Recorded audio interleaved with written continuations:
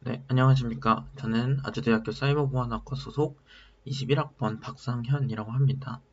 어, 저는 이번 영상에서 블록체인 analysis tool 리뷰라는 주제로 블록체인 그러니까 이제 탈중앙화 환경에서의 이제 운영될 수 있는 그런 시스템에 대한 어, 분석 진행, 그러니까 보안적인 분석을 진행할 수 있는 그 툴, 그런 툴에 대해서 한번 리뷰를 해볼 생각입니다.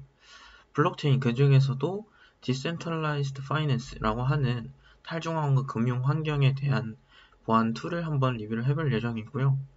그래서 본 영상의 목적을 한번 살펴보시면 블록체인과 DeFi에 대한 이해를 먼저 시작하고 이후에 EVM 바이트 코드에 기반한 Mythril security tool을 리뷰해 볼 생각입니다. 어, 이 영상에 관심이 생기신 분들은 제 Git, GitLab 주소를 올려놨으니까 이거 이를 참조하시면 될 것 같고요. 모든 실험 환경은 Ubuntu 22.04에서 테스트되었습니다. 어, 제가 이 주제를 어, 주제로 잡은 이유는 제가 최근에 DeFi에 대한 관심이 생기고 어, 그렇다 보니까 rug pull이라는 DeFi를 대상으로 한 공격이 많이 증가해서 이에 대한 논문을 작성해서 분석한 내용을 발표를 한 적이 있습니다. 어, 만약에 궁금하신 분들은 저한테 개인적으로 미, 이메일 주시면 제가 답해 성실하게 답해 드리도록 하겠습니다. 그러면 어, 바로 본격적인 내용으로 들어가도록 하겠습니다. 먼저 블록체인이 무엇인지에 대한 이해가 필요하겠죠. 블록체인이라는 것은 탈중앙화 환경 기반 데이터 저장 및 처리 시스템을 의미합니다. 어, 이는 블록이라는 데이터베이스에 데이터를 저장하고 해시라는 연결고리, 즉 체인으로 연결이 되어 있습니다. 어, 말만 하면 조금 어려우실 것 같아서 제가 그림을 하나 가져왔는데 이러한 모양의 블록이 있습니다. 이 블록에는 여러분들의 시험 내용이라든가 아니면 시험 결과라든가 그런 내용이거나 여러분들의 개인정보 이것들이 모두 01010 이런 이진수 binary로 되어 있는 모든 데이터들이 블록 안에 저장되게 됩니다. 그리고 이 블록들은 가운데 해시라고 하는 암호화 혹은 이제 난독화라고 하는데 해시라고 하는 연결고리에 의해서 서로 연결이 되고 이는 어, 추가는 할 수 있지만 새롭게 제거하거나 혹은 누가 수정을 할 수 없는 형태로 변화하게 됩니다. 어, 따라서 P2P 방식에 기반해서 통신 및 임의 수정 불가 그리고 모두가 변경이 되었음을 확인할 수 있습니다.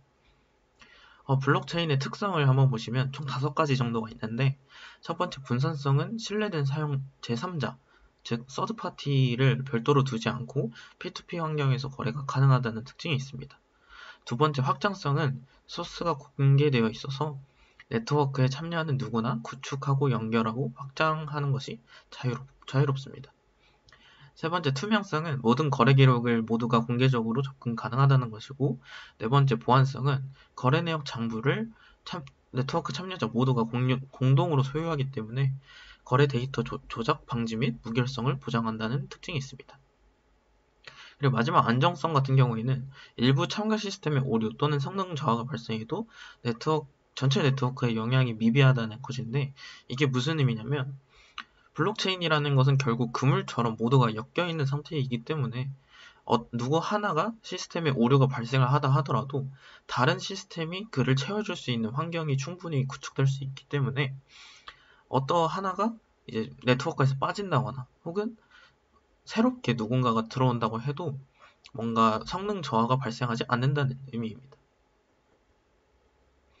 어, 블록체인 환경의 강점과 약점을 한번 보시면 먼저 강점에서는 보안성 향상이 있습니다. 블록체인이라는 것은 아까 말씀드렸던 해시라는 암호화, 암호화나 이 해시를 기반으로 해서 블록체인을 블록들을 연결하기 때문에 이를 어, 풀기 위한 키값으로 거래가 진행이 됩니다. 그래서 참여 노드가 분산돼서 해킹이 거의 일어날 수 없다라는 특징이 있고요. 두 번째는 비용 감소입니다. 블록체인은 말씀드렸듯이 탈중앙화 환경이기 때문에 중앙 서버나 시스템을 두지 않습니다. 어, 예를 들어서 중앙 서버나 시스템을 두었다면은 어, 그로 인해서 발생하는 열이라든지 혹은 이제 여러 저, 여러 가지 관리적인 비용이 들어가게 되는데 이 시스템이 없기 때문에 이에 대한 비용이 감소하고 마찬가지로 해킹, 해킹에 대한 리스크가 감소하기 때문에 이를 위한 보안성도 향상됨과 동시에 이를 막기 위한 비용이 줄어든다고 말씀드릴 수 있겠습니다. 세 번째 속도 향상인데 어, 블록체인 같은 경우에는 그러니까 탈중앙화 환경 같은 경우에는 인증이나 증명 과정에서 제3자에 대한 어, 여타의 새로운 어, 인증 과정이 필요가 없습니다. 예를 들어서 서버와 클라이언트가 연결이 되는 Kerberos와 같은 네트워크 상태를 보시면 KDC라고 하는 인증 기관이 따로 필요합니다. 하지만 이는 어, 블록체인 환경과 비교, 비교했을 때 제3자에 대한 개입이 피, 필요하기 때문에 처리 속도가 늘어질 수 있지만 블록체인은 이거 없기 때문에 처리 속도 향상에 기여할 수 있습니다. 네, 마지막으로 네 번째 가시성 극대화인데 분산, 분산 원장 그러니까 블록체인 환경에서는 smart contract라고 부릅니다. 이 contract 계약서에 대한 모니터링이 하나하나 가능하기 때문에 투명성과 부인 방지라는 공격에서 자유롭습니다. 그리고 블록체인의 약점에 대해서 한번 알, 알아보자면 첫 번째, 거래 검증의 주체 자체가 취약점이 될 수 있습니다. 아, 주체 자체가 컴퓨터이기 때문에 사람이 검증하는 형태가 아닙니다. 따라서 검증에는 컴퓨팅, 그러니까 컴퓨터 효과만을 이용해서 거래 증명이 필요하다는 어, 약점이 있습니다. 두 번째, 처리 비용의 낭비인데 어, 탈중앙화 환경이기 때문에 여기 앞서 제가 말씀드렸던 특징을 보시면 어, 보안성 부분에 거래 내역 장부는 네트워크 참여자 모두가 공동으로 소유한다 라고 되어 있습니다. 그런데 모든 참, 참가한 모든 컴퓨터가 이 자료들을 공동으로 고, 보관해야 되기 때문에 비효율적이라고 되어 있습니다. 하지만 요즘에는 클라우드 환경이 굉장히 발달하면서 블록체인 자체에서 발생한 모든 데이터들을 클라우드 환경 컴퓨팅이나 혹은 edge computing이라고 하죠. 여타의 저장 공간을 마련해둬서 이를 업로드할 수 있는 어, 초 저장 공간이 발, 발견이 되었기 때문에 발견이 되고 발전이 되었기 때문에 이러한 어, 처리 비용 낭비 부분에서는 약점이 크게 줄었다고 말씀드릴 수 있겠습니다. 마지막 세 번째 약점은 프라이버시 노출인데요. 어, 모든 사용자가 함께 거래 내용을 처리하고 검증하기 때문에 프라이버시 측면에 있어서 위험도가 여전히 존재하게 됩니다. 그래서 블록체인의 활용도를 보시면 여러분들이 많이 들어봤을 법한 digital asset이라고 해서 cryptocurrency라고 부르기도 하지만 디지털 화폐나 가상화폐로도 많이 사용하게 됩니다. 그리고 이 디지털 화폐나 가상, 가상화폐가 사용되는 환경을 저희가 DeFi라고 부르고요. 그리고 private 블록체인 이 같은 경우에는 여러 앞서 말씀드렸던 많은 양의 데이터, 많은 유형의 데이터를 private한 공간에서 저장할 수 있게 만든 탈중앙화 환경입니다. 그리고 그 외에도 블록체인이 정말 많은 공간에서 응용이 되고 있습니다. 그런데 이런 블록체인 네트워크를 대상으로 여러 가지 공격들이 발생하게 되는데 대표적으로 세 가지 정도를 말씀을 드리자면 51% 공격이라고 해서 블록체인 네트워크에서 데이터를 추가하려면 과반수 이상의 찬성, 그러니까 투표 과정을 거치게 되는데 어, 만약에 블록체인 네트워크를 장악하고 있는 주체 자체가 개인 한 명의 한 명의 예를 들어서 악성 공격자가 절반 이상을 차지하고 있다고 하면은 악성 데이터, 악성 코드 이런 게 들어오다 오더라도 오더라도 어, 공격자가 임의적으로 찬성을 하게 되면 이를 어쩔 수 없이 받아들이게 되는 그러한 블록체인의 특성을 악용하는 공격도 발생하고 있습니다. replay attack 이라고도 하고 이제 리, reuse attack이라고도 부르는데 블록체인은 말씀드렸듯이 이제 키값을 통해서 보안성을 극대화한다고 말씀을 드렸습니다. 그런데 이런 키값이 제 시간에 만료되지 않고 만약 이후에 재사용될 수 있는 형태가 돼버린다면 이제 공격자가 일반 사용자가 가지고 있는 키값을 탈취해서 그 블록, 블록 안에 있는 데이터가 어떤 것인지 확인할 수 있고 이를 재사용할 수 있는 그러한 공격입니다. 마지막으로 rug pull attack인데 제가 최근에 이걸 분석을 했다고 말씀을 드렸습니다.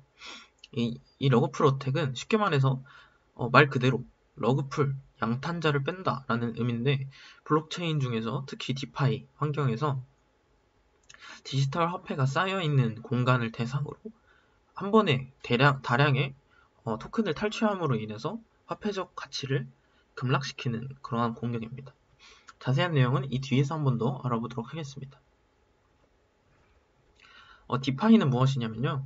DeFi라는 것은 블록체인 기술을 활용한 smart contract 기반 탈중앙화 금융 시스템입니다. 어, 이는 거버넌스라는 이제 규칙이죠. 규칙에 기반해서 DeFi 시스템 간 사용자 시스템 이용자 간 상호, 상호작용인 transaction을 발생시키고 모든 내용이 smart contract라는 소스 코드로 작성이 되어서 자산이 발행됩니다. 이때 smart contract는 소스 코드로 작성이 되어 있다고 말씀을 드렸잖아요. 이 smart contract 소스 코드는 Solidity라는 언어로 작성이 되어 있습니다.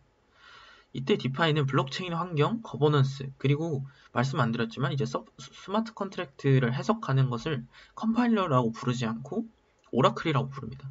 이러한 오라클 등으로 인해서 밑에 있는 네 가지 특징에 기반한 금융 거래를 실행합니다. 그리고 EVM 뒤에서 말씀드릴 거지만 이를 구조로 동작하고 어, 디파이의 네 가지 특징을 한번 말씀드리자면 비수탁성. 디파이의 참여자는 언제나 모든 금융 시스템 및 서비스 제어가 가능하다는 것, 비허가성, 누구나 제3자에 의해 검열되거나 차단되지 않고 금융 서비스와 상호작용할 수 있다는 것. 세 번째, 공개 감사 가능성은 누구나 DeFi 시스템의 상태를 감사 가, 가능하다는 것. 마지막으로 구성 가능성은 새로운 금융 서비스를 만들 수 있도록 임의로 구성 가능하다는 특징이 있습니다. 어, 앞에, 앞서 말씀드렸듯이 EVM이라는 구조로 DeFi의 동작을 하게 되는데 EVM은 Ethereum Virtual Machine의 약자입니다. EVM이란 smart contract를 처리 그리고 배포 실행하기 위해서 어, 개발된 이더리움 가상 머신이고요. 이는 이더리움이라는 회사 혹은 이제 토큰 자체가 정의한 규칙 그러니까 governance에 따라서 소스, smart contract 내에 있는 코드를 실행하고 그 결과로 변화된 상태를 업데이트합니다. 아래에 있는 그림이 이제 EVM에 대한 그림이고 어, 머신 상태에 따라서 이제 어, 얼만큼 이제 EVM의 기능이 결정이 되게 됩니다. 그리고 DEX라는 개념이 있는데 DEX는 Decentralized Exchange라고 해서 이는 분산 오라클 기반 디지털 자산 거래 체결 거래, 거래소입니다. 어, 앞서 말씀드렸듯이 DeFi 자체의 특성으로 인해서 모든 거래가 공개적으로 확인이 가능하며 transaction이 발생했을 때 토큰 교환 함수와 유동성 풀, 유동성 풀이라는 것은 이제 토큰이 모두 저장된 그러한 어, 하나의 토큰 저장소라고 말씀드릴 수 있, 있 겠습니다. 이 크기에 의해서 토큰 가치가 결정되게 됩니다. 아래에 있는 그래프는 이제 유니스왑이라는 여러분들도 한 번쯤은 들어보셨을 법한 이제 가장 유명한 탈중앙 거래소 중에 하나인데 이제 어, 그래프 함수에 따라서 예를 들어서 y를 팔고 x가 x를 구입하였다면 결국 수학적으로 봤을 때 토큰 y는 감소하고 토큰 x는 증가하였기 때문에 왼쪽 상단에 있는 어, 가치 점에서 오른쪽 하단에 있는 새로운 토큰 가치로 변환되었다는 것을 확인할 수 있습니다. 그래서 DeFi에서 발견한 security issue가 왜 중요하냐라는 것을 이제 의문적으로 의문점으로 가지실 수 있는데 제가 이 주제로 잡은 이유와 맞물리게 됩니다. 결론적으로 말씀드리자면 딱 하나인데 DeFi 시장이 점점 더 커지고 있습니다. 어, TVL이라고 해서 total value locked 어, DeFi 시장에 묶여 있는 모든 돈의 규모를 말합니다.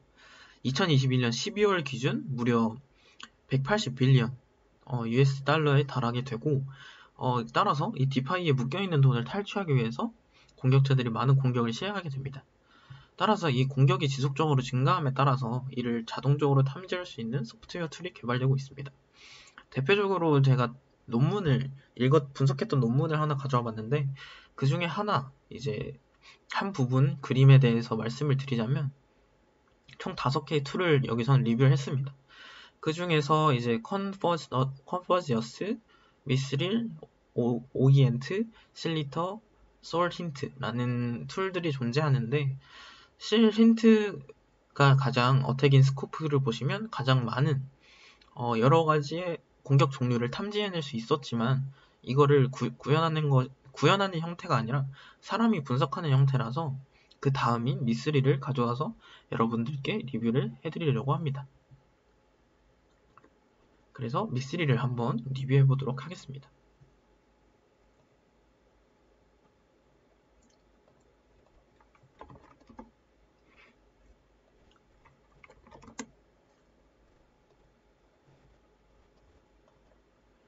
어, 뭐, 여러분이 지금 보고 계신 것은 우분투 22.04에서 어, 실험을 진행할 환경이고요. 먼저 터미널을 켜줍니다. 터미널을 켜주고 여러분들이 제 GitHub를 제대로 클론 하셨다면 이제 force 2023-e-final 이라는 폴더가 생긴 것을 확인할 수 있을 것입니다. 그래서 이를 접속을 하게 되면 안에 내용을 보면 이제 도커부터 보이고 이제 미스릴이라는 디렉토리가 여기 보이게 됩니다. 그래서 이거를 이용하는 건 도커를 기반으로 하기 때문에 굉장히 간단한데요. 먼저 여러분들이 어, 도커가 있는지 확인을 한번 해봐야겠죠. 그래서 도커를 한번 쳐보시면 여러분의 도커가 제대로 다운받아져 있다면 이런 식으로 유세이지 어떻게 사용하는지가 먼저 뜨게 될 테고 만약에 여러분들이 받지 않았다면 이제 도움말로써 이제 수도 도커를 설치해라 이런 식의 말이 나올, 나오게 될 겁니다. 그래서 이제 첫 번째 명령어를 말씀드리면 docker pull mythril myth라고 해주시면 만약에 여러분들이 제대로 도커를 제 도커를 사용하였다 처음 도커를 사용하였다면 이렇게 봤을 때 미스릴 미스가 여러분들은 한 번도 풀을 해본 적이 없기 때문에 하나부터 열까지 모두 구축하는 단계가 될 겁니다. 오래 걸리진 않을 것 같고요. 어, 제가 해봤을 때는 한 5분 안쪽으로 다운이 되었던 것 같습니다. 이렇게 되면 환경 구축은 끝났고요. 제가 실험도 모두 마친 상태라서 아마 제가 현재 녹화를 2023년 12월 23일 기준으로 진행을 하고 있는데 어, 큰 오차가 없다면 여러분들도 쉽게 충분히 안전하게 구축을 할 수 있다고 생각합니다. 그리고 파이썬이 깔려 있어야 되는데 파이썬 버전을 보시면 3.10.11을 쓰고 있습니다. 어, 이 설명에 따르면 그 파이썬 3.7 버전부터 3.10 버전까지 지원을 한다고 하니까 이를 참고해 주셨으면 합니다. 그리고 환경을 구축하기 위해서는 PIP3, 파이썬 3에서 어, Mythril을 한번 다운을 받아야 되는데 저는 이미 설치를 했기 때문에 already satisfied라고 뜨게 되고 PIP3 리스트를 보시면 미3 0.24.3이라고 확인을 할 수 있습니다. 그리고 자 그러면 모든 환경 구축이 끝났으니까 어떻게 환, 이 Mythril을 구현을 하는지 이용을 하는지 한번 확인해 보도록 하겠습니다. 어, 안에 있는 내용들을 보시면 많은 파일과 디렉토리 중에서 이 솔리디티 example이라고 있습니다. 제가 어, 여러분들이 사용하실 때는 실제 솔리디티 그러니까 실제로 transaction에 사용된 솔리디티 파일을 가져와서 사용을 해도 되겠지만 저는 일반적인 도움을 위해 이 이그젠플 파일을 한번 사용해 보도록 하겠습니다. 명령어는 어떻게 사용하냐면 아 일단 파일이 어떤 게 있는지 봐야겠죠. 한번 보면 이제 BEC 토큰, 콜 이런 식의 솔리디티 파일이 있습니다. 그래서 다시 나가서 어, 미스 미스하고 분석하다 아날라이스 그리고 위에 있었던 킬 보일리라는 거를 먼저 돌려보도록 하겠습니다.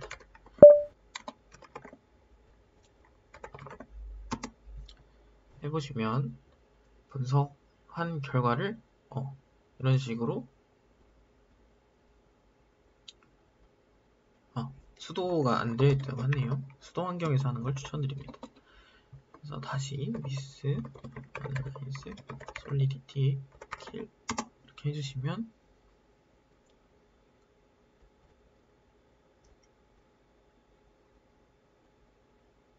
자 결과를 봤을 때 분석이 완벽히 진행되었다고 하지만 어떠한 이슈도 발견되지 않았다고 합니다.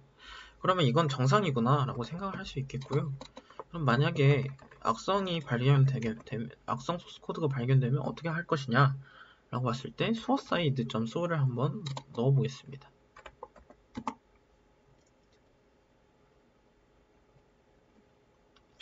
자, 이런 식으로 unprotected self-destruct라는 것이 나왔고 이제 이런 이 내용을 보시면 어, severity라고 해서 이 취약점의 파급력이 얼마나 센지를 확인할 수 있었습니다. High로 되어 있고 이제 어떤 내용의 에러를 담고 있고 이제 어떤 부분에서 문제가 발생하는지를 이제 언급을 해주고 있습니다. 어, 그렇기 때문에 여러분들이 일반적인 어, 디, 어, DeFi 환경에서 어, Solidity 파일을 가져와서 아 이게 취약한 건 아닐까? 라고 의심을 해볼 만한 상황일 때 이 툴을 이용을 해보면 굉장히 효과적이라고 말씀을 드릴 수 있겠습니다. 네, 지금까지 어, 블록체인 그리고 DeFi에서 보안 검증 툴인 미스빌트에서 리뷰한 사이버 보안학과 21학번 박상현이라고 했습니다. 이었습니다. 네, 지금까지 들어주셔서 감사합니다.